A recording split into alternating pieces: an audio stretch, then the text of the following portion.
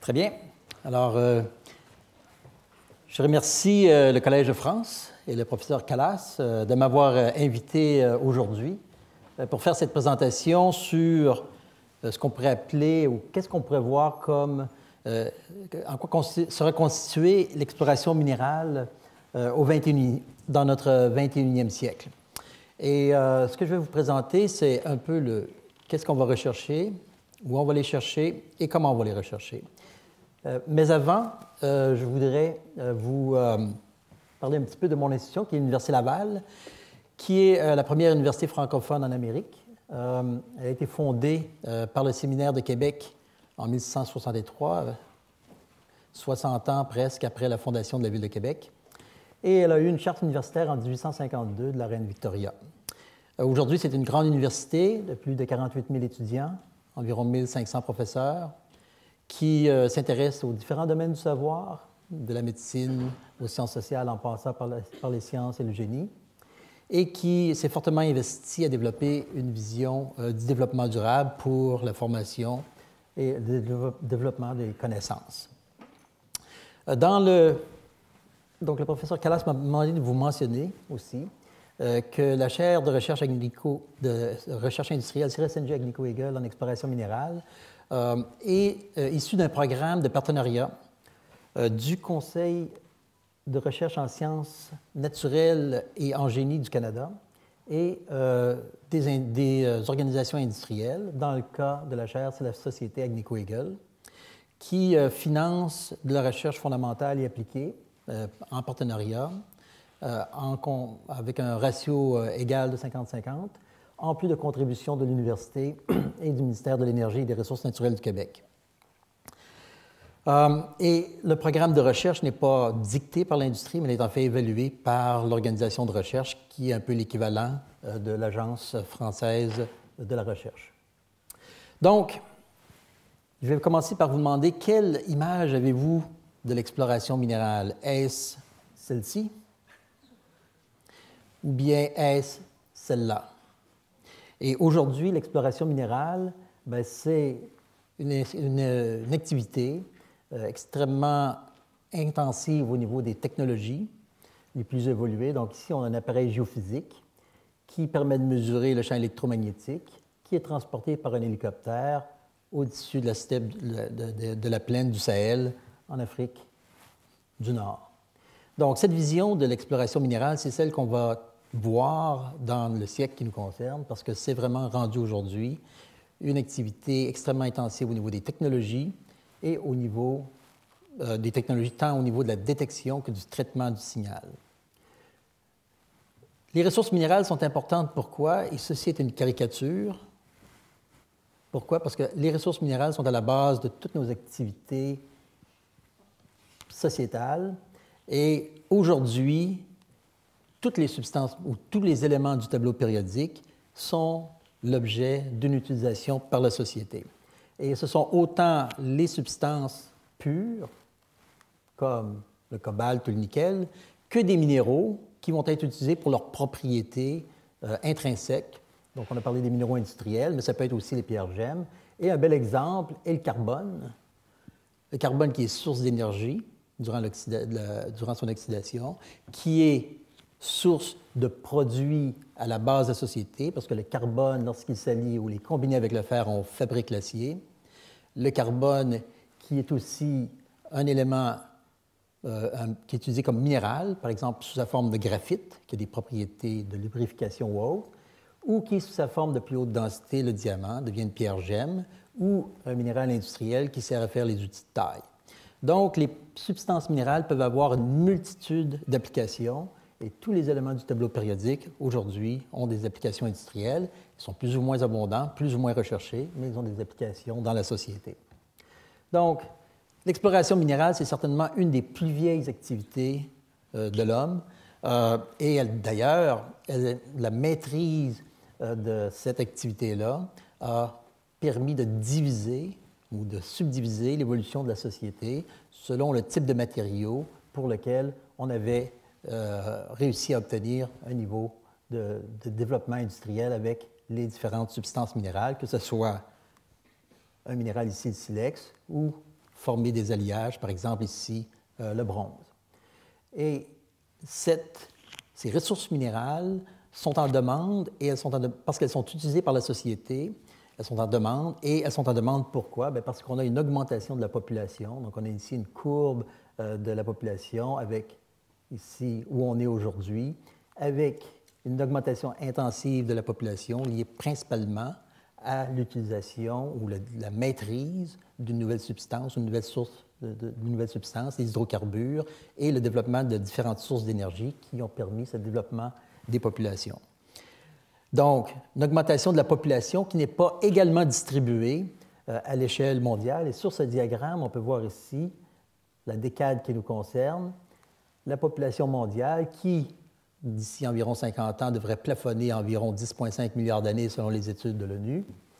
Mais ce qui est important de regarder sur ce diagramme, c'est que pour certaines régions, et on peut voir ici l'Asie, donc l'Asie forme plus que les deux tiers de la population mondiale, et elle est en croissance rapide, mais vous pouvez voir que l'Afrique va être la prochaine source d'un nombre important d'humains qui vont, qui vont avoir un besoin pour des substances minérales. Vous pouvez voir l'Amérique latine, et en contrepartie, vous pouvez voir l'Europe, l'Amérique, qui, elles, ont des populations qui sont beaucoup plus stables, voire déclinantes.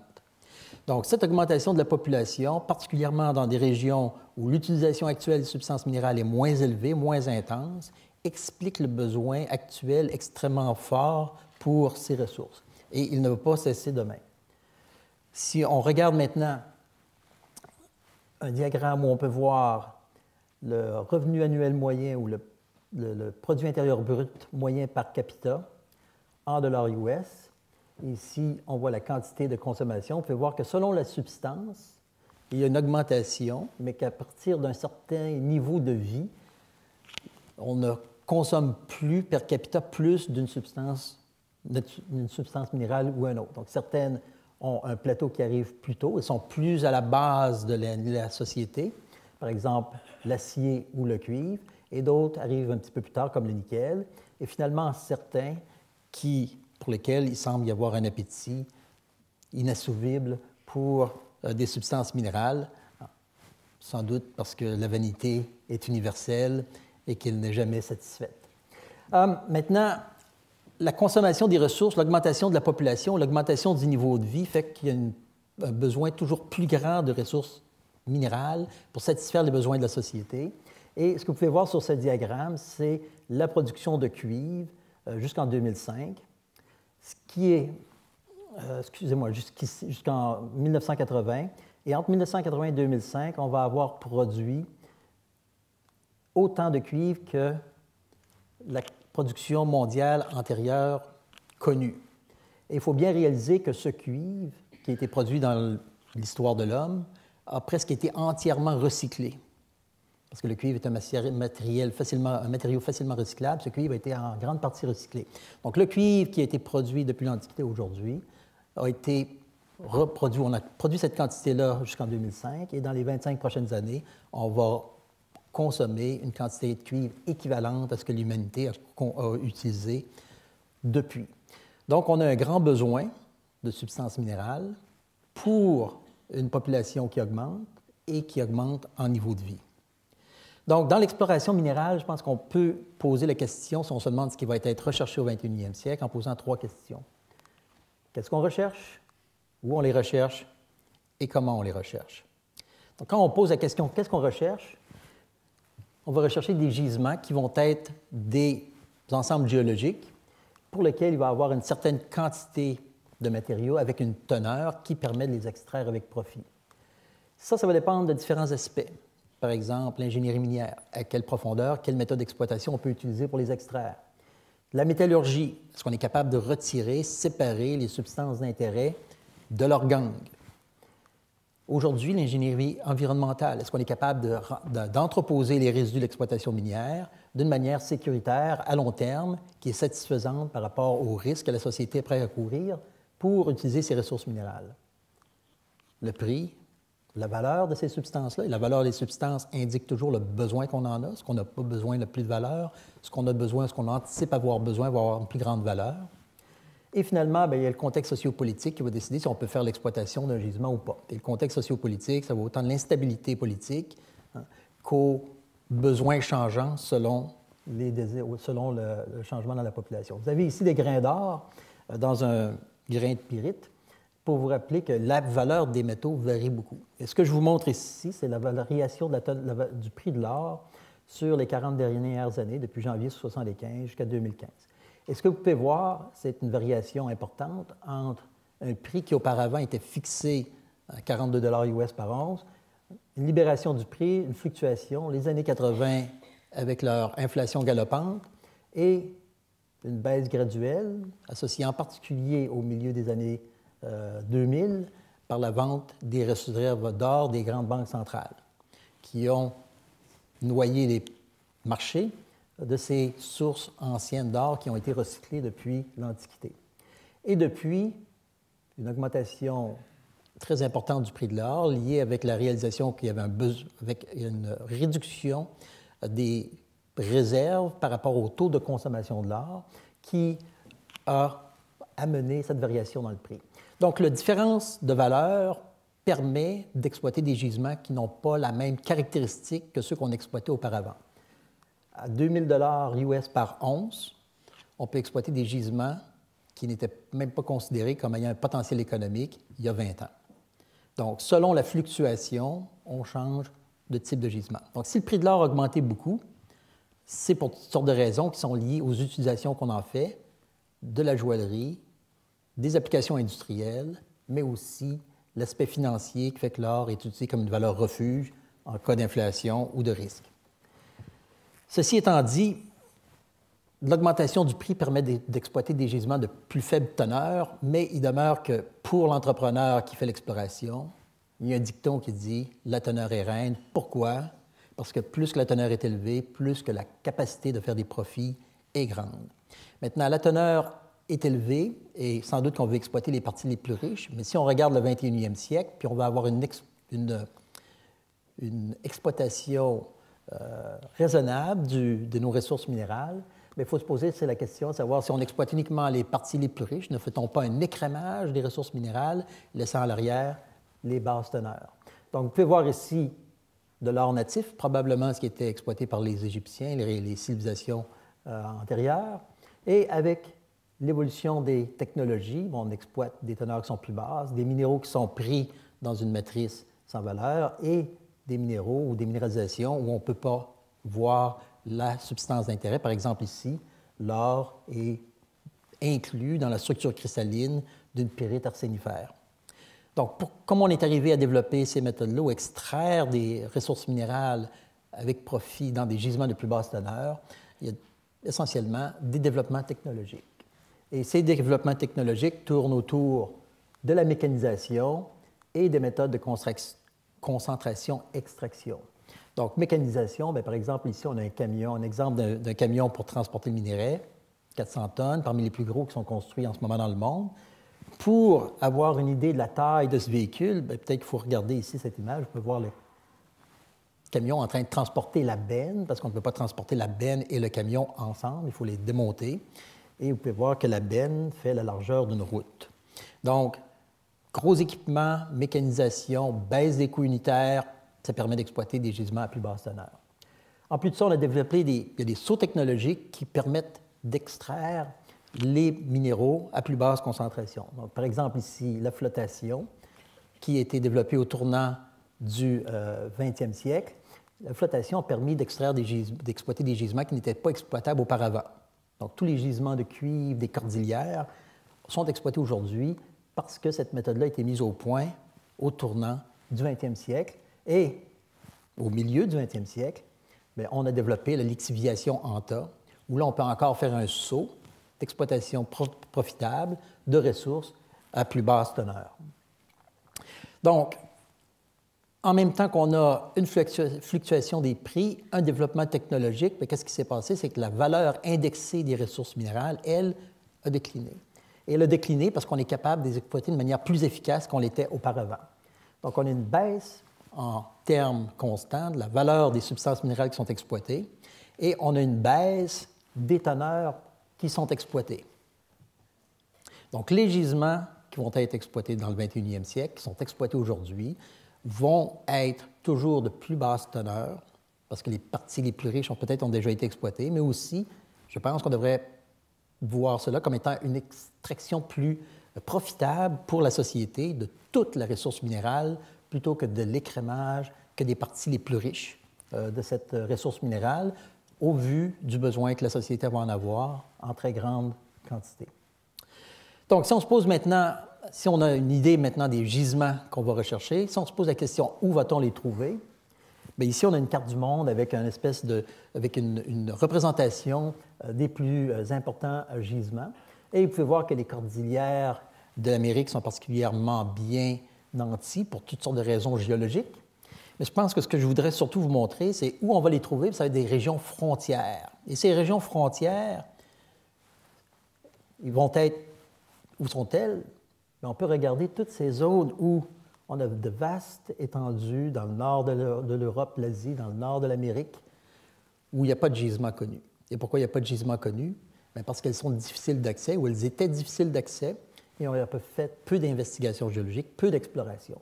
On peut voir la même chose pour l'Asie centrale, on peut voir la même chose pour le centre de l'Afrique, le centre du désert de l'Australie. Et pourquoi? Tout simplement parce qu'elles sont loin, difficiles d'accès, ou qu'elles étaient loin, difficiles d'accès. Maintenant, avec des moyens modernes ou autres, on peut plus, plus facilement y accéder et aussi en extraire les ressources parce qu'il faut les transporter vers les marchés. Et finalement, je vous ferai remarquer que parmi ces régions frontières, on pourrait très bien voir que il y a au cœur de l'Europe, entre la France, l'Allemagne, la Grande-Bretagne, des régions qui pourraient être dites frontières parce que certainement il n'y a pas fait beaucoup d'exploration depuis une centaine d'années. Et certainement pas avec les méthodes les plus modernes qu'on utilise partout ailleurs dans le monde aujourd'hui. Donc les ressources minérales vont venir des régions frontières et bien sûr aussi, on va continuer de faire des découvertes parmi ces grands ensembles pour lesquels il y a un grand potentiel et qu'on étudie avec un plus grand détail. Où on va les trouver aussi, ces gisements, ben, on va les retrouver en profondeur. Les méthodes d'exploration aujourd'hui, que ce soit la géophysique, la géochimie ou même les forages, donnent accès à une très petite portion de la croûte continentale. Si on essayait de la dessiner à cette échelle ici, entre le manteau, le cœur du noyau à 6300, euh, sur le rayon de 6370 km de la Terre, eh bien, on n'aurait même pas la ligne à la surface euh, de ce diagramme. Les exploitations les plus profondes vont à peine à 4 km. Donc, essentiellement, aujourd'hui, on est capable de rechercher des ressources minérales dans la partie superficielle, l'épiderme de la planète, et toute la partie plus profonde demeure une source potentielle de ressources minérales. je mets un exemple ici d'un dépôt qui s'appelle Resolution Copper, qui a été découvert en Arizona au milieu des années 90 à une profondeur de 2 km, c'est un gisement de 1,7 milliard de tonnes, à une teneur de 1,5% cuivre, ce qui est très élevé par rapport au gisement qu'on exploite en ce moment de ce type de gîte-là. Et ce n'était pas un endroit où c'était une frontière, c'était un district qui était très bien connu, car c'était l'extension d'une mine qui s'appelait Magma Copper, qui avait été exploitée depuis les années 1800. Donc, en profondeur, et pour vous illustrer cela, on voit ici un diagramme qui montre la profondeur d'une découverte en mètres par rapport aux années, et on peut voir que si en 1950, on avait essentiellement des découvertes qui étaient faites à proximité de la surface. Avec le développement technologique, on peut voir des découvertes qui se font à plus en plus grande profondeur, malgré qu'on retrouve toujours des gisements qui sont affleurants. Et un exemple est celui du gisement de Yutolgoy en Mongolie, un énorme gisement de cuivre qui a été découvert en place sur le terrain, qui affleurait dans les steppes et qui est aujourd'hui mis en exploitation. Donc, où on va les trouver, ces gisements-là, en profondeur, on va les trouver aussi sous couverture, parce qu'une grande partie de la surface de la planète, ou les roches du socle, sont recouvertes par différents types d'écrans.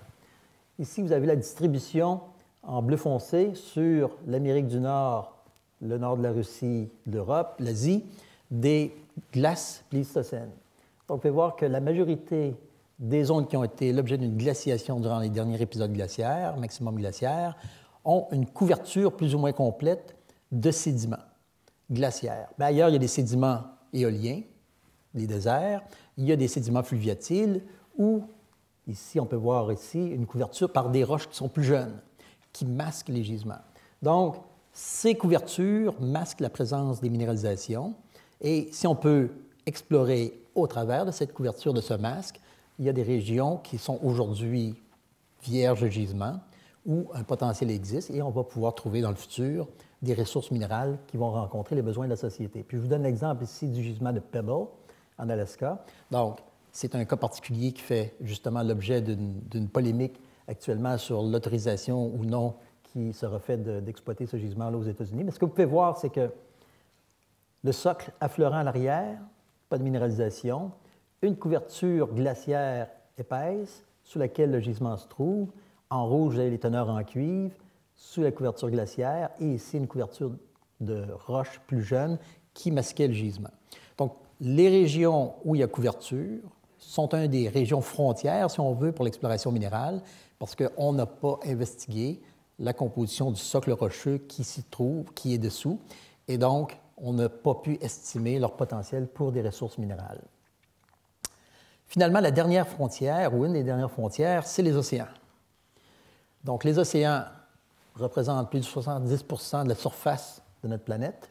Donc, ça veut dire que parmi les surfaces continentales, ou qui sont mal explorées pour de grandes superficies, par rapport à ça, les océans, c'est plus que le double de la superficie de la planète. Et on connaît, à la surface de l'océan, de grandes zones, par exemple ici, qui contiennent des croûtes cobaltifères, qui contiennent des nodules riches en manganèse, comme on voit ici. Ces nodules riches en manganèse contiennent aussi d'autres métaux qui peuvent être valorisés.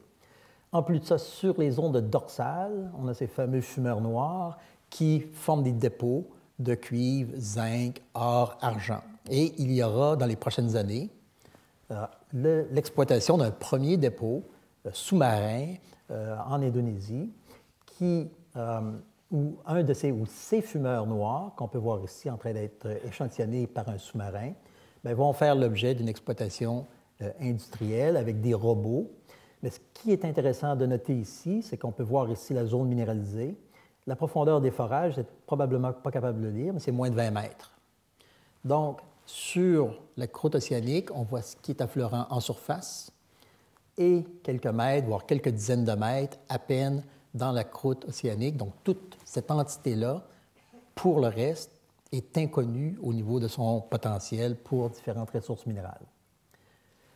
Finalement, dans l'océan, il y a plusieurs substances qui sont en solution dans l'eau de mer. Et ces substances, si on les extrait, offrent un potentiel de contribuer aux besoins de la société de manière très significative.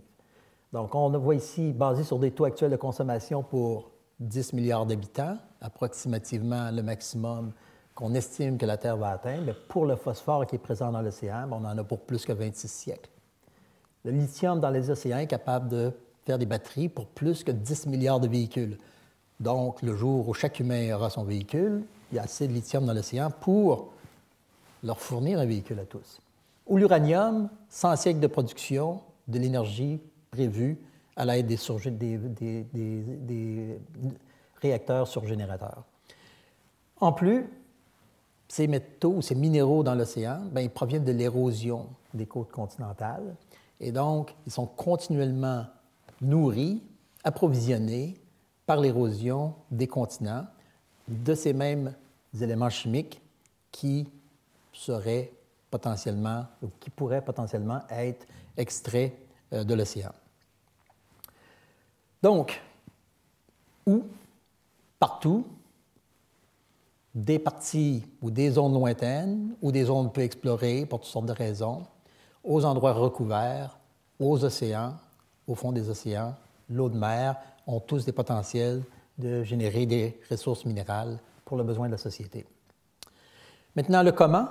Alors, comment on va découvrir ces ressources minérales euh, dans les dans le prochain siècle, mais comment on va avoir des modèles géologiques de plus en plus raffinés qui vont nous permettre de prédire où ils se trouvent?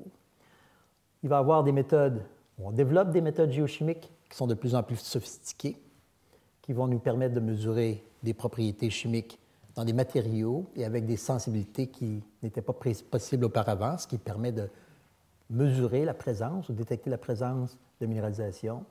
Des méthodes qui vont utiliser des propriétés physiques pour détecter la présence de minéralisation à des profondeurs et utilisant des propriétés nouvelles. Finalement, on va voir que l'intégration des données dans des systèmes d'information géographique en trois dimensions est une des clés pour comprendre et prédire où seront les ressources, où seront où, on trouvera les ressources minérales euh, du 21e siècle. Donc, une des premières choses qui a changé et qui changera encore dans ce siècle, c'est l'accès.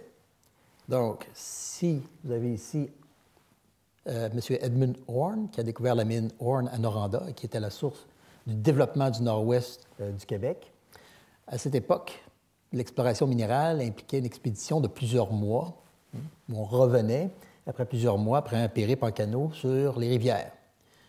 Avec le développement de l'aéronautique après la Deuxième Guerre mondiale, beaucoup d'endroits sont devenus accessibles facilement par des aéronefs sur flotteurs, skis, roues, etc.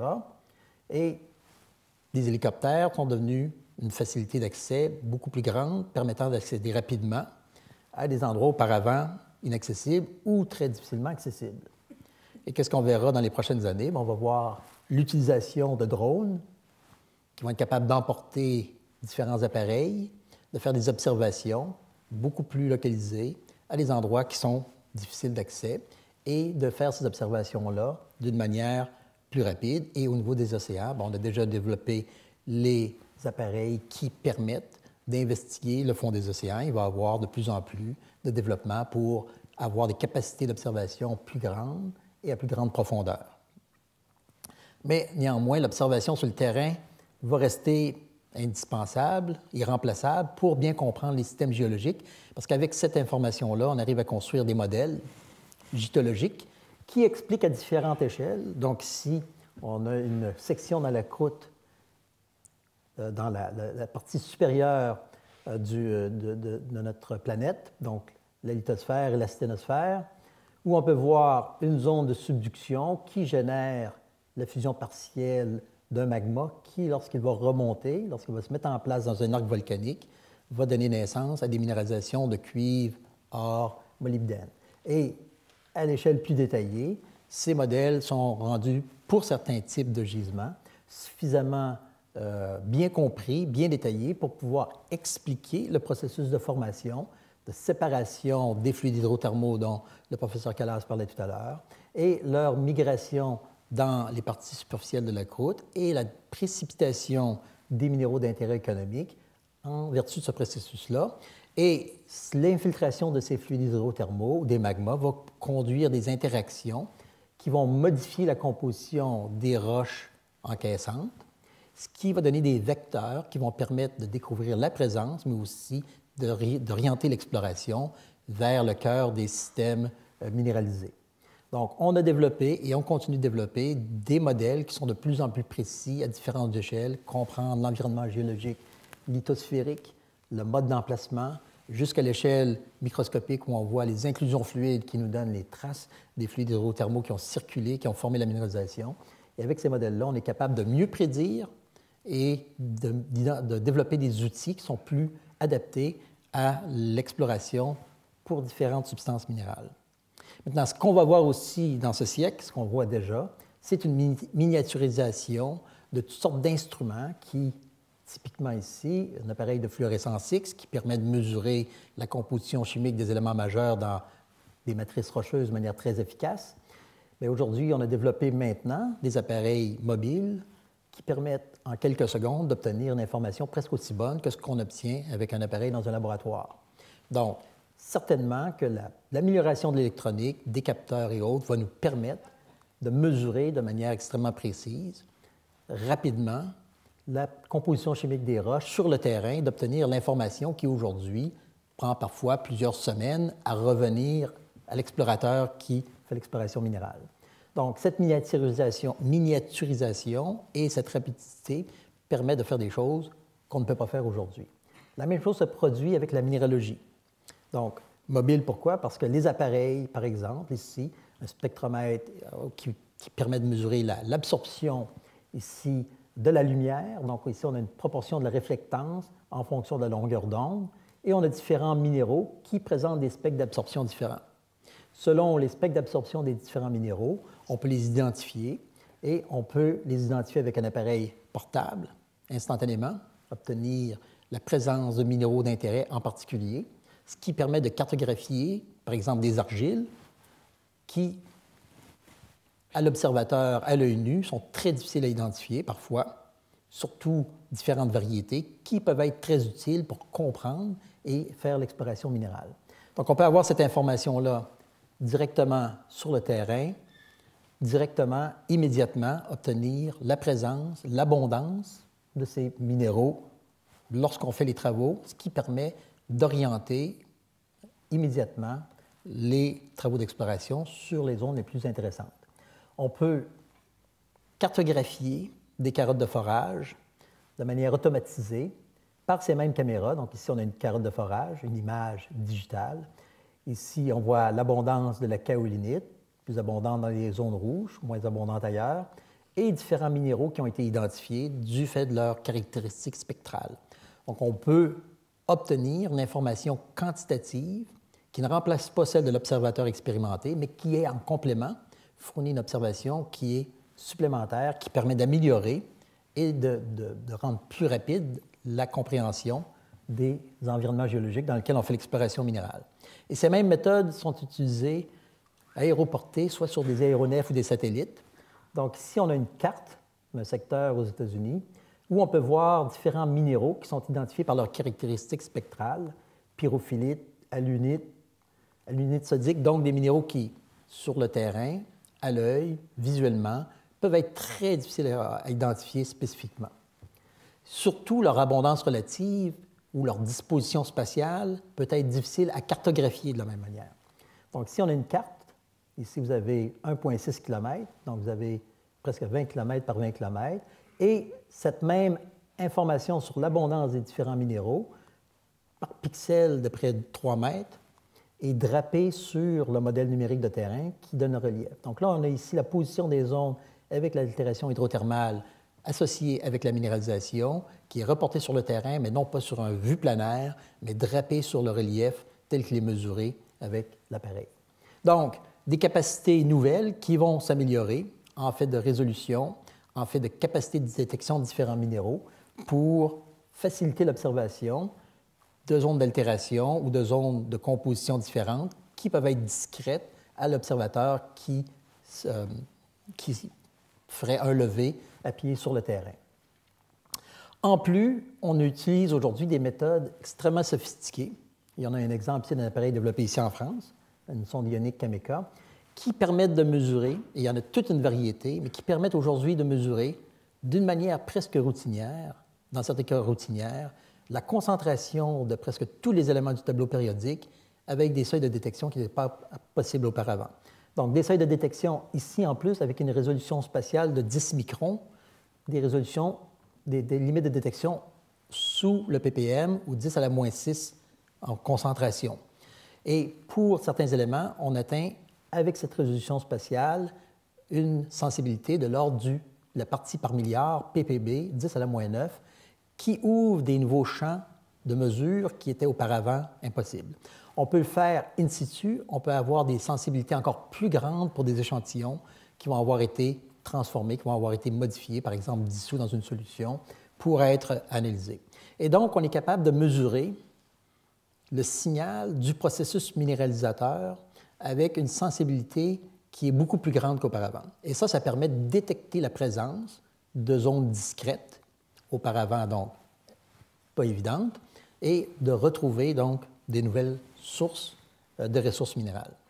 En plus de ça, d'autres appareils ont été développés, mais je vais juste vous donner ici un exemple de la datation des roches, qui aujourd'hui, on atteint un niveau de datation de meilleur que 0,01 sur l'âge absolu par des méthodes uranium-plomb ou autres qui sont extrêmement précises. en plus, on a développé toute une série de, de, géochronomètres qui peuvent s'appliquer à différentes températures, de sorte qu'on peut comprendre l'évolution dans le temps et dans son environnement de température de systèmes géologiques. Et donc, on s'aperçoit aujourd'hui que même les méthodes de datation les plus précises nous indiquent que les gisements se forment probablement sur des échelles de temps très courtes. En fait, on s'aperçoit qu'ils sont toujours plus courtes que la méthode de datation la plus précise qu'on a. Donc, au lieu de voir la formation des gisements sur l'échelle du million d'années, du dizaine de millions d'années, Ben, aujourd'hui, on atteint des résolutions temporelles pour des gisements récents qui sont de l'ordre de 10 000 ans. Et encore là, c'est presque l'ordre de grandeur à laquelle la minéralisation s'est formée, parce que c'est la limite de la, résolution qu'on a. Donc, avec une meilleure datation, on a une meilleure compréhension du processus géologique, ce qui nous permet de bien comprendre comment il se forme, et donc ça va nous permettre de découvrir des gisements où on n'avait pas cru qu'ils pouvaient exister euh, auparavant. Donc, en plus de ces méthodes géochimiques extrêmement précises, on, a aussi, on développe aussi des méthodes pour aller investiguer en profondeur, par forage. Et par exemple, un des développements les plus intéressants qui se fait en ce moment, c'est le développement d'un forage continu. Donc, plutôt que d'avoir des tubes d'acier qui sont reboutés l'un à l'autre, le, le, tube de forage est flexible, construit d'époxy polymère, dans lequel on peut mettre des sondes. Ces sondes sont miniaturisées et parce que la tige de forage n'est plus en métal, mais elle peut voir continuellement au travers de sa gaine de polymère. Et donc, on peut construire des diagraphies extrêmement détaillées pour des propriétés qui sont importantes pour essayer de reconnaître la présence euh, d'un gisement métallique. On développe beaucoup et la géophysique en forage va être un des outils qui va être fortement développé dans les prochaines années, qui continue de développer. Pourquoi? Parce qu'en miniaturisant les sondes, en augmentant leur sensibilité, on est capable maintenant de les descendre dans des forages, et non seulement de les descendre dans un forage, mais on peut les descendre dans plusieurs forages en même temps.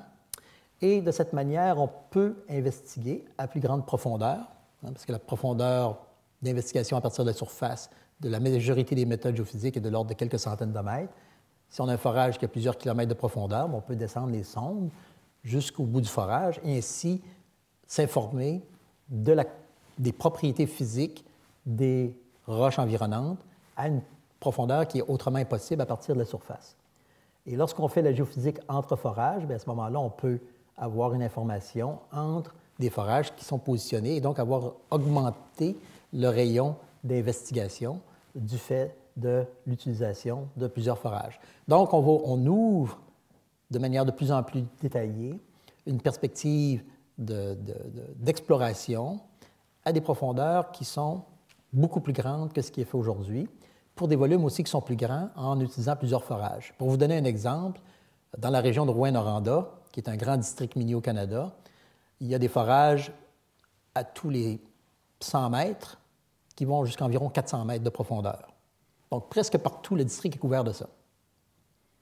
Mais sous ce 400 mètres, l'information devient très parcimonieuse, très peu. Et donc, le potentiel existe. Et on a trouvé des gisements profonds. Mais ils coûtent plus cher, ils sont plus durs à trouver. Et le développement de ces méthodes ouvre la voie à aller investiguer à plus grande profondeur dans la croûte terrestre la présence des propriétés physiques qui permettraient de retrouver des gisements qui sont enfouis.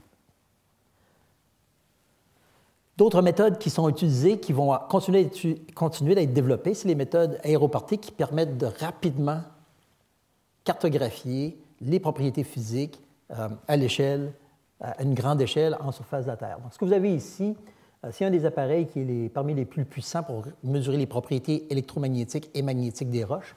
Donc, vous avez un avion. Autour du nez de l'avion, des ailes et de la queue, il y a une boucle d'induction dans lequel on fait passer un courant qui est généré par un générateur à l'intérieur de cet avion. Donc, le courant électrique crée un champ primaire, et lorsque ce champ primaire pénètre dans un conducteur électrique, par exemple un corps de sulfure, de roche, de minéraux sulfurés, bien, il va générer un champ secondaire qui va déformer le champ électromagnétique à la surface de la Terre. Donc, ce champ électromagnétique va être mesuré par un receveur qui, lui, est tracté au bout d'un câble derrière l'avion. Et typiquement, on va mesurer deux propriétés, le magnétisme et le champ électromagnétique. Ces appareils les plus puissants aujourd'hui permettent d'investiguer à peu près 200 mètres en profondeur dans la croûte terrestre. Si on a des appareils plus puissants, qu'on a des appareils plus sensibles, on est capable de résoudre des anomalies qui sont associées avec des causes qui sont plus profondes ou qui sont plus petites. Donc, on va pouvoir retrouver des nouvelles masse de minéralisation qui était passée inaperçue auparavant.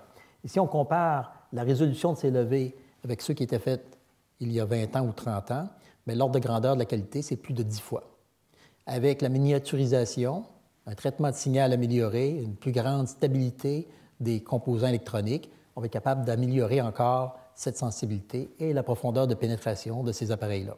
Et on a toute une variété d'appareils, qu'ils soient transportés ici par un hélicoptère ou embarqués sur des satellites, qui permettent de cartographier à différentes échelles la surface à une plus ou moins grande profondeur, ce qui permet de reconnaître la présence de minéralisation ou de leurs effets secondaires pour découvrir des ressources minérales nouvelles. Donc, la géophysique aussi va avoir des développements importants et on va utiliser de plus en plus des méthodes géophysiques profondes. Et une des difficultés avec les gîtes minéraux, c'est que leur taille est relativement petite, surtout si on compare avec ce qui est généralement fait dans l'industrie pétrolière. Donc, plutôt que d'avoir des cibles qui peuvent avoir plusieurs kilomètres d'extension, on a des cibles qui vont avoir quelques centaines de mètres, hein, typiquement d'extension. Donc, le fait qu'elles soient plus petites demande le développement de nouvelles méthodes qui permettent de les reconnaître et surtout les reconnaître à grande profondeur. Donc, on a maintenant développé différentes méthodes qui permettent de sonder à des profondeurs du kilomètre, voire peut-être deux kilomètres, la présence de corps qui sont conducteurs, qui donc vont permettre de conduire l'électricité, mais vraiment le développement, ou un des aspects les plus importants, va être le développement de méthodes qui sont 3D. Donc, avoir une quantité beaucoup plus grande d'informations qui va permettre de retrouver les sources des anomalies de manière plus précise et plus fine. Parce que si on a des sections comme ça, la section va être séparée et l'espacement des sections va faire que si elles ne sont pas suffisamment proches l'une de l'autre, ben, elles peuvent être de chaque côté d'une zone minéralisée où on ne retrouvera pas son effet dans la section où on a essayé de l'illustrer. Alors que si on a des données géophysiques 3D en profondeur, là, à ce moment-là, on est capable d'avoir une matrice continue qui permet de reconnaître des sources de différences de propriétés physiques qui vont pouvoir être associées avec la présence euh, de gisements. Et ces quantités de données-là sont utilisées et vont être utilisées de manière encore plus systématique pour euh, intégrer les données dans des systèmes d'information géographique en trois dimensions. Et le plus utilisé est le, logiciel GoCAD, qui est une création encore ici euh, française, développée à l'Université de Nancy, euh, et donc, ce que ça permet, c'est de compiler des quantités de données phénoménales qu'une seule personne n'est pas capable de visualiser d'une manière cohérente. Sur ces informations-là, on peut recréer des volumes, on peut recréer un contexte géologique qui permet d'observer et de résoudre certaines mauvaises conceptions de la géologie parce que justement, on n'est pas forcé d'avoir une continuité en trois dimensions des informations géologiques qu'on a autrement euh, obtenus. Et ces systèmes d'information géographique permettent en plus de faire des requêtes qui permettent de sortir une information, par exemple ici la teneur en cuivre à un certain niveau, et donc identifier tous les forages, toutes les analyses chimiques qui ont donné des teneurs en cuivre. Et parfois, certains secteurs peuvent avoir passé inaperçus parce que, pour différentes raisons, ils n'ont pas été notés dans le passé, puis là, ils vont apparaître comme étant des zones où on a un potentiel. Et basé sur ça, ben, on peut générer des nouvelles cibles d'exploration qui peuvent faire l'objet d'investigation. Donc, un exemple ici, où on peut voir ce qui est appelé l'horizon Corbet. Donc, dans le modèle géologique de ce type de gisement-là, il y a un niveau horizontal qui représente l'ancien fond marin, qui est recoupé par des séries de failles qui sont subverticales, qui représentent les endroits où, par où les fluides hydrothermaux remontaient vers la surface du fond marin. Et l'intersection de ces zones de faille représente des secteurs qui sont favorables pour la découverte de gisements de sulfure massif.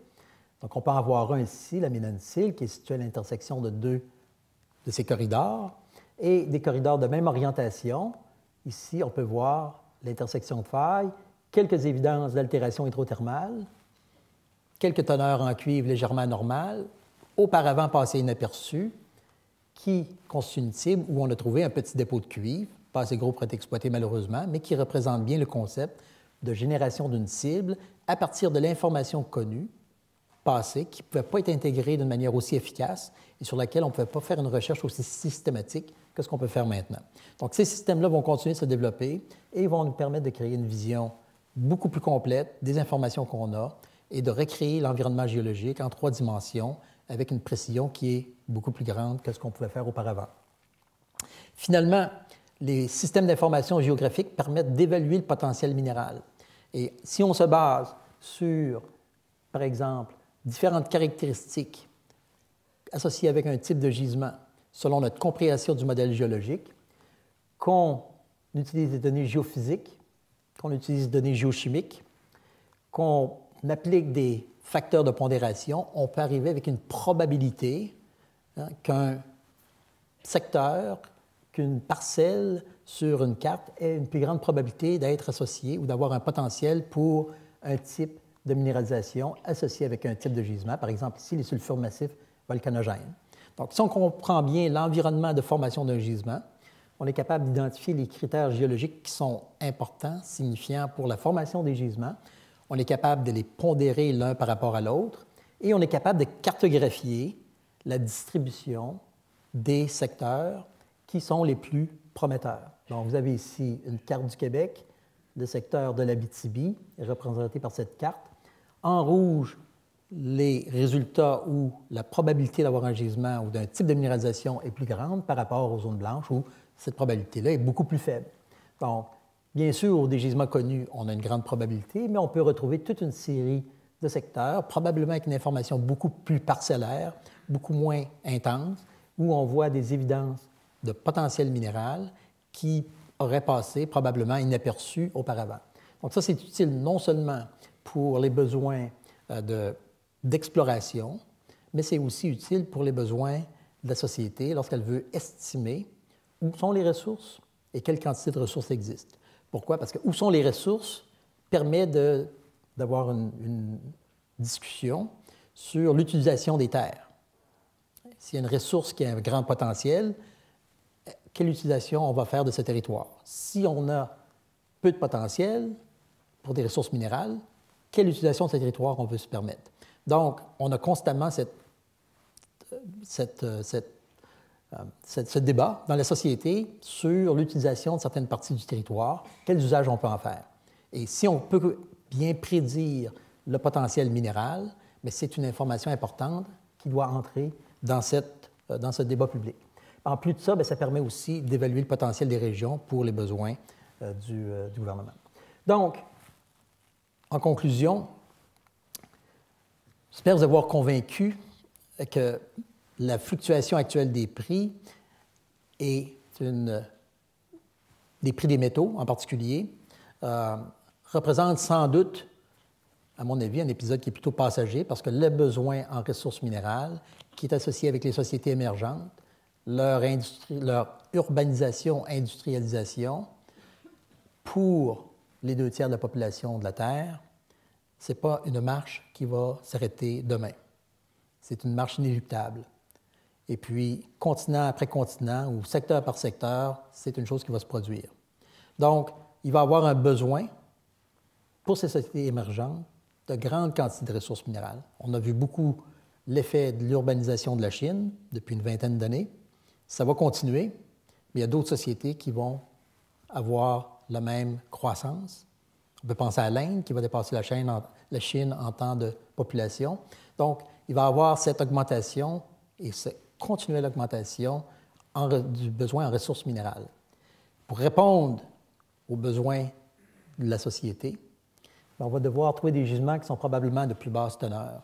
Il va falloir trouver de grandes ressources minérales et je pense qu'il va falloir imposer une exploitation de toutes les ressources qui sont présentes, pas uniquement celles qui génèrent les taux de profit les plus élevés. Donc, il faut éviter l'écrémage, il faut éviter de prendre uniquement la partie la plus intéressante, mais avoir une utilisation qui est plus juste euh, des ressources minérales. Régions frontières, c'est là où on va les trouver. On va les trouver sous couverture, en profondeur et certainement dans les océans. Et les régions frontières ne sont pas toujours celles où on pense. Il y a des nouvelles ressources minérales qui ont été retrouvées dans des camps, parce qu'on a appliqué de nouveaux modèles, dans des camps mini connus, parce qu'on applique des nouveaux modèles, de nouveaux concepts. Il y a des régions de ce monde, je prendrai la France en exemple, où on a un potentiel pour certaines ressources minérales qui n'a pas été bien évalué, à mon avis, euh, par des méthodes profondes, modernes. Euh, il y a des régions qui sont loin, difficiles d'accès, mais il reste que le champ où on peut trouver des ressources minérales aujourd'hui demeure important et certainement, on n'a que gratté la surface de notre planète à venir jusqu'à aujourd'hui. Et comment on va les découvrir? Bien, on va avoir des modèles géologiques qui vont être de plus en plus raffinés. On va utiliser des outils, des moyens analytiques, tant au niveau de la géochimie que de la géophysique, qui vont être de plus en plus sensibles, de plus en plus précis, qui vont donc nous permettre d'avoir, d'observer les effets des minéralisations, tant leur dispersion chimique que les variations de leurs propriétés physiques, qui sont petites et qui étaient passées inaperçues auparavant.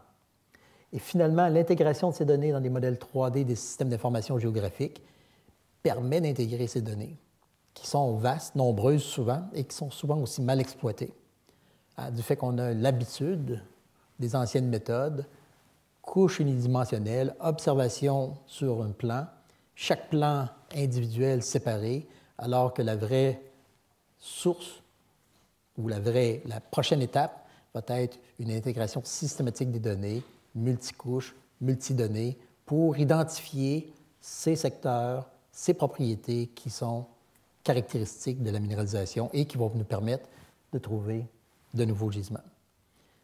Donc, euh, je vous remercie de votre attention. Je remercie le Collège de France pour son invitation et le professeur Callas. Merci.